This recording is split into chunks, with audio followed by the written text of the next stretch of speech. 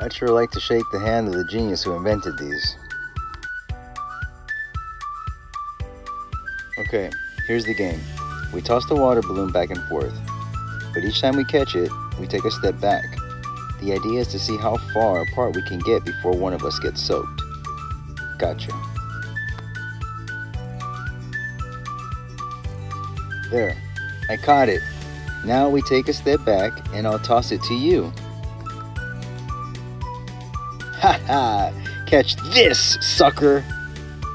Ploosh! Ha ha ha! What a choke! What a knife! Ha ha ha! Hey, what's the matter? Can't you take a joke? It was a joke. I mean, it was an accident. I didn't do it on purpose. Hey, no, not the rain barrel.